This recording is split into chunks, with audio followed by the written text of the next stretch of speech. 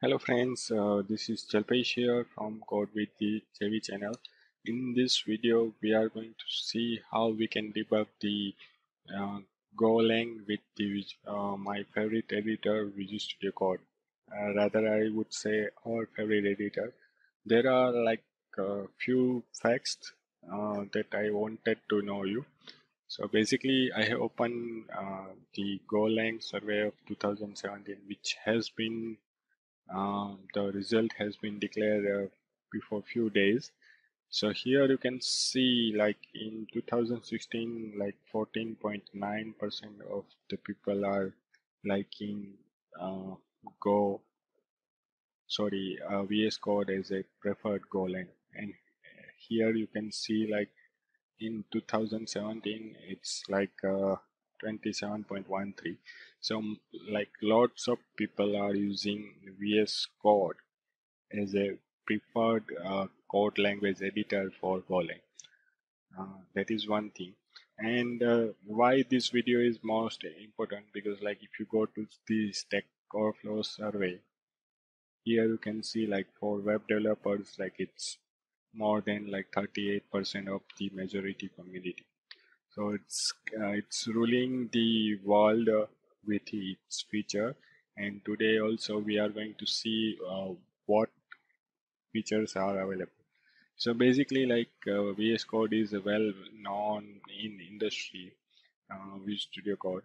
So this is the extensions and here you can see like it has got lots of download and like more than uh, uh, 146 ratings as a five star.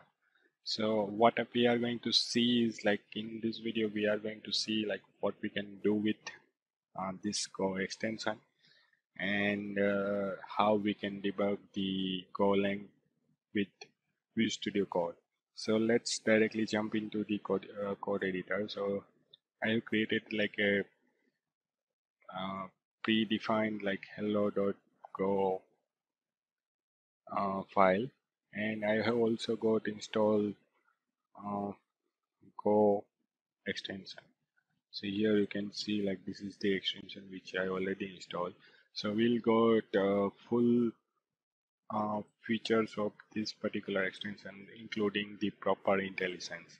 So let's directly jump into the program and here what I am going to write is like hello world and we are going to have like just hello world and we already included uh, the FMT so let me include uh, this FMT so here you can see this is the another feature like it will include the FMT by default. You know this and here you can see like uh, it's also showing me uh, the variable.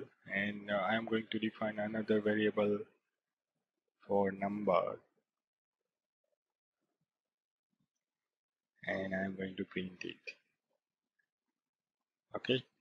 And like if you so this is our super call program. Let me close this so you will get a better idea.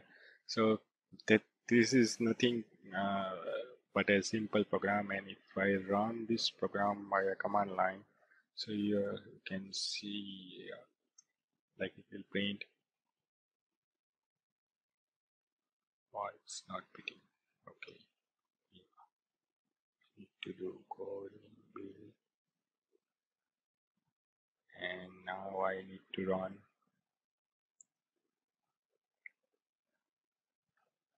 Oh sorry I didn't save it.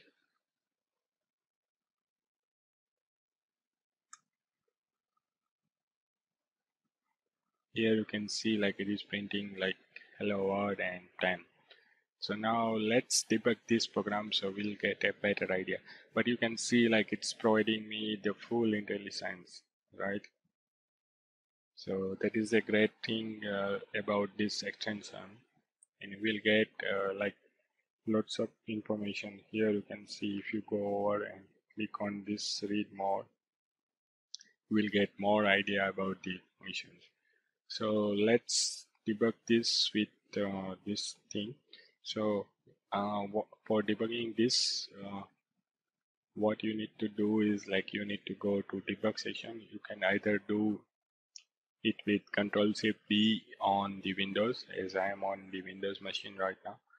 And uh, so first thing you need to do is like add a configuration. So here you can see like there is an option called add configuration so I already added the configuration so there is nothing fancy. Now here you can see like the type is go and mod is debug and there are some port and host thing uh, this is like a pretty standard one seven dot uh, dot o dot o dot one which is a standard localhost port. So now let's directly run it so like select the launch and click on this play button. So let's wait uh, for it to load the all the debug information. Uh, for the first time it will take slightly more time but after that like it will be pretty smooth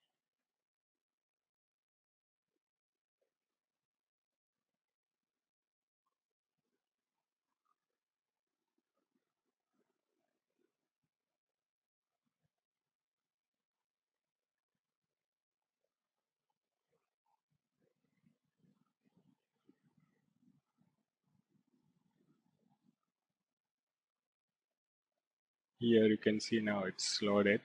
So here you can see like it is providing me to continue. Uh, you can also step over with tab 10 or clicking on this. You can step into also.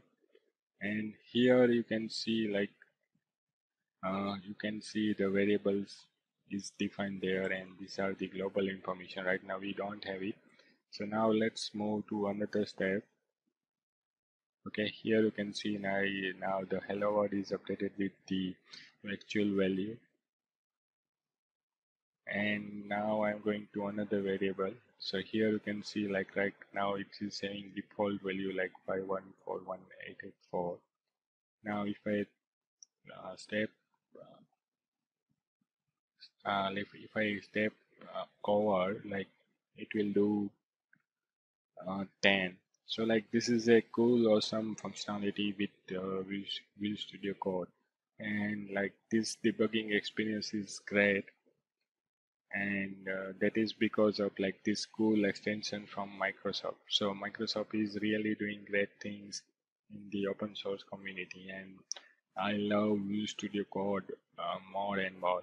So thank you for watching this video. Uh, I, I am going to put lot many videos uh, there. So keep watching and uh, please do subscribe to my channel. Like it gives me boost uh, to make more videos. So please if you like this video please press the like button and do subscribe to my channel code with JV. Thank you